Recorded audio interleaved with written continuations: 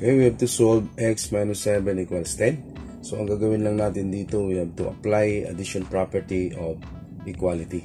So, mag-add tayo dito sa left side ng 7 at mag-add din tayo dito sa right side ng 7. Okay, so, kopyahan natin yan si x.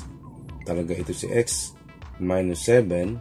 So, mag-add tayo dito sa, sa left ng 7 equals 10. Mag-add din tayo dito sa right ng 7. Okay, so x So, i-cancel natin si negative 7 at saka positive 7 kasi 0 na yan. So, equals 10 plus 7 is 17. Okay, ngayon, i-check natin yan kung yung solution natin ay tama. Okay, so we have to copy the original equation. x minus 7 equals 10. Okay, so x natin is 17 minus 7 equals 10. Okay, so 17 minus 7 is 10 that is equal to 10. So our solution is correct. Okay.